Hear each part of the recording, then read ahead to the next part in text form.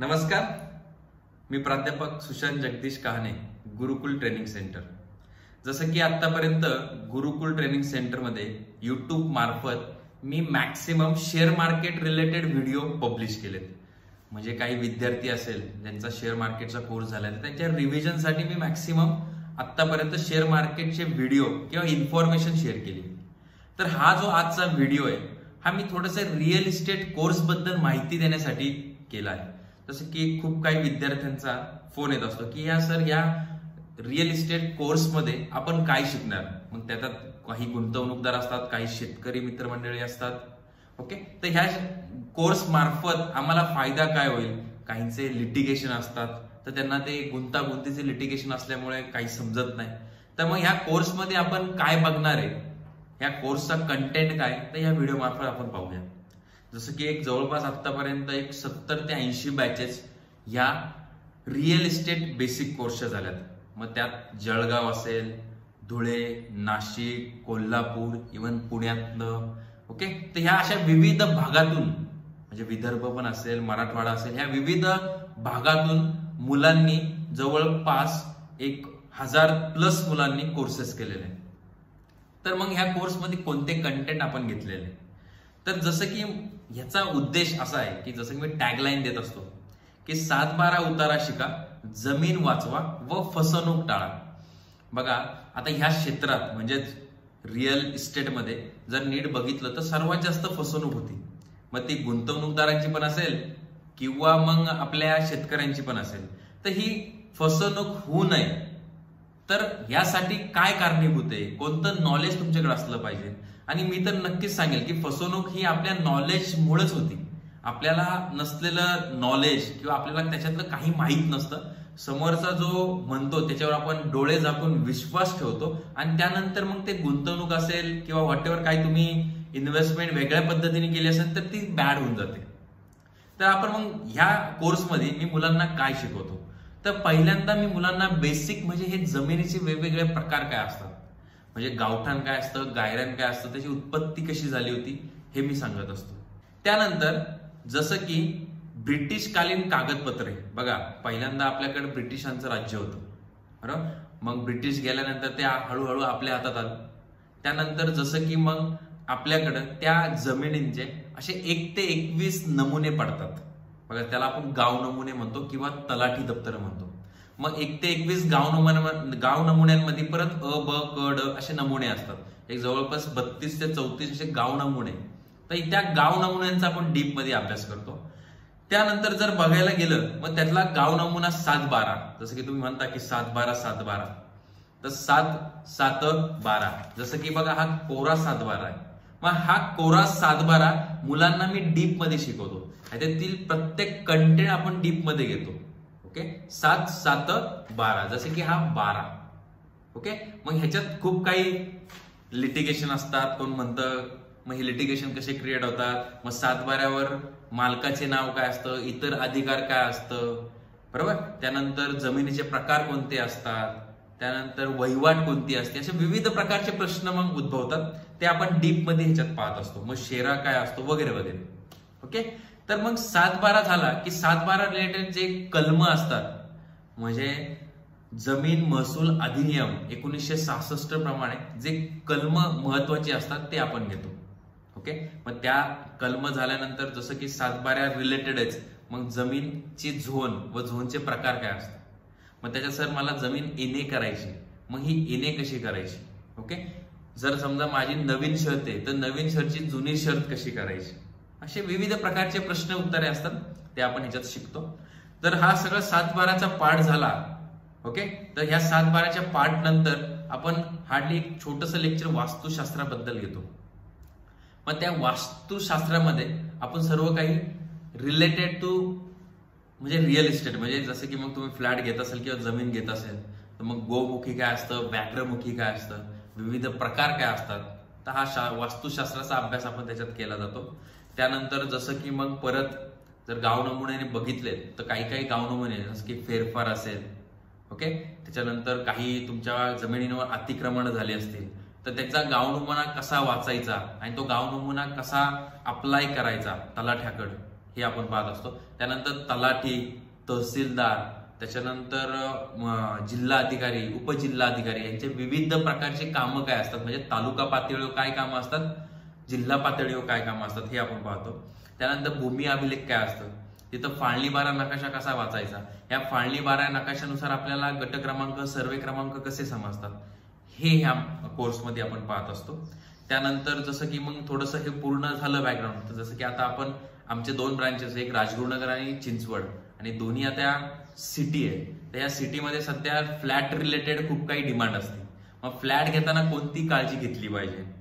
जसं की मग तुम्ही फ्लॅट घेताय मग त्याच्यात तुम्हाला वेगवेगळ्या प्रकारचे जीएसटी काय असतं त्याच्यानंतर तुम्हाला टॅक्सेस कोणते पे करावे लागतात त्यानंतर तुम्ही जेव्हा मोजणी करता मग ती मोजणी कशी केली जाते? ओके मोजणीचे पण दोन प्रकार असतात. एक गव्हर्नमेंट मोजणी असते त्यानंतर एक प्रायव्हेट मोजणी असते. त्याच्याबद्दल पण आपण चर्चा केली जाते. त्यानंतर फ्लॅट रिलेटेड स्टॅम्प ड्युटी कशी पे केली जाते? कोणत्या प्रकारे किती पर्सेंटेज स्टॅम्प ड्युटी लागली जाते? ओके? नंतर फ्लॅट घेताना कोणती? मग तो जुना असेल किंवा नवीन नवीन असेल. तर त्याबद्दल कोणती काळजी घ्यावी? तर ह्या रिलेटेड सर्व काही शिकवलं जातं. त्यानंतर M R T P act nineteen sixty six Maharashtra regional town planning ऍक्टनुसार मग आरपीडीपी लॉज काय असतात ते आपण डीपमध्ये बघितले जातात. मग त्याच्यात थोडंसं मी एफ एस आयबद्दल सांगतो. हे एक्स्ट्रा झालं म्हणजे आउट ऑफ सिलेबस सांगतो. जसं की एफ एस आय काय असतं टीडीआर काय असतं मग कच्चा टीडीआर काय पक्का टीडीआर टीडीआर काय?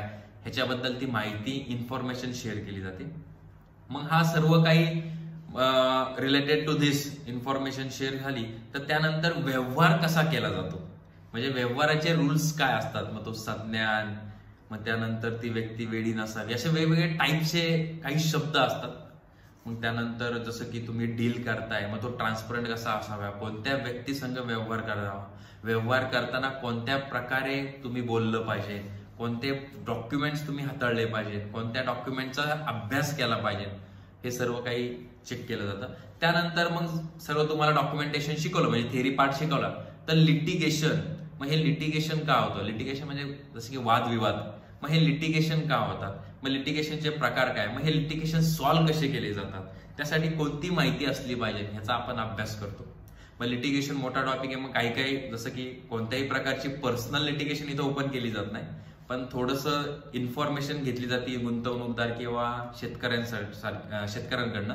मग थोडंसं त्याचा बॅकग्राऊंड चेंज करून ती एक स्टोरी किंवा लिटिगेशन बनवलं जातं.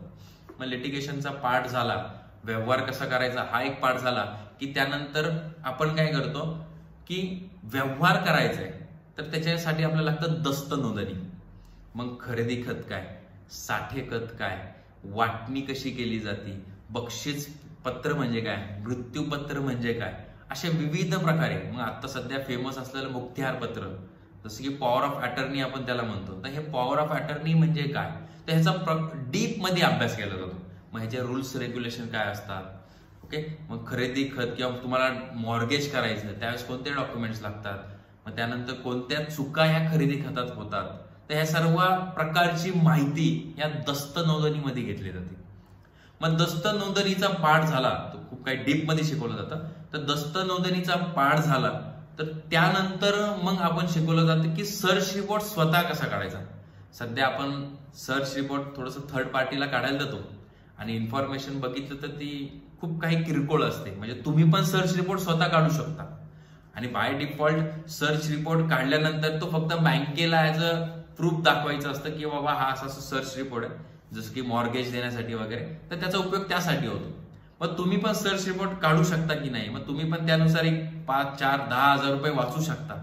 मग सर्च रिपोर्टचे स्टेप्स काय? असे वेगवेगळ्या पाच स्टेप्स असतात. तर हे या कोर्समध्ये डीपमध्ये शिकवले जातात. मग हा जो होतो सर्व काही थेरी प्रकार. मग हा थेरी प्रकार झाल्यानंतर शेतकरी असेल इन्व्हेस्टर असेल गुंतवणूकदार असेल त्यांचे प्रॅक्टिकल केसेस घेतले जातात. म्हणजे काही काहींचे घरातली केसेस असेल काही काही मे बी थोडंसं इन्व्हेस्टमेंट करण्यासाठी काही लँड पाहिजे असेल त्यांचे डॉक्युमेंट्स असतील. तर मग त्या विद्यार्थ्यांसाठी पर्सनली बसून त्या डॉक्युमेंट्स पाहिले जातात. मग मे बी सातबारा बघितला जातो मग त्याच्यावर भोगवटा वर्ग एक काय भोगवटा वर्ग दोन काय मग हे त्यांना प्रॅक्टिकली सांगितलं जातं. त्यानंतर सेफ इन्व्हेस्टमेंट त्या ह्या knowledge through plus experience through त्यांची होऊन जाते. आणि मग आपल्या फसवणुकीला आळा बसतो. म्हणून मी ती टॅगलाईन दिली की सातबारा उतारा शिका जमीन वाचवा व फसवणूक टाळा. मग हे झालं आपलं फसवणूकबद्दल. आता ठीक आहे बाबा हा कोर्स करून काय फक्त इन्व्हेस्टमेंट आणि फसवणूक टाळायची का? तर नाही. तर आता आपण शेत शेतकरी आहे. भारत हा शेती प्रधान देश आहे. आणि या शेती प्रधान देशमध्ये आत्ताच्या कंडिशनला बघा आत्ताच्या कंडिशनला तुम्ही फक्त आपली शेती तरी वाचवली म्हणजे तुमची जी जमीन आहे ती तरी वाचवली त्याची योग्य प्रकारे निगा तरी राखली तरी ह्या कोर्सचा खूप काही मोठा उपयोग होतो. मग जसं की आता आपण पाहतो की आत्या हक्क मागते मग ते हक्क कसा द्यावा? बरोबर? बहिणींचा हक्क किती असतो? मुलींचा हक्क किती असतो? असे विविध प्रकारचे प्रश्न उत्तर ह्याच्यात होतं. चर्चा सत्र चालतात. जसं की मग ह्याच्यात मग आम्ही कधी कधी रेग्युलर बॅचेस पण घेतो. विकेंडच्या बॅचेस पण असतात. विकेंडच्या बॅचेस मॅक्सिमम काय होतं? की जसं की आउट ऑफ म्हणजे पुणे जिल्ह्यातील जे इन्व्हेस्टर किंवा शेतकरी वर्ग असतो तर त्यांना त्याचा फायदा होतो.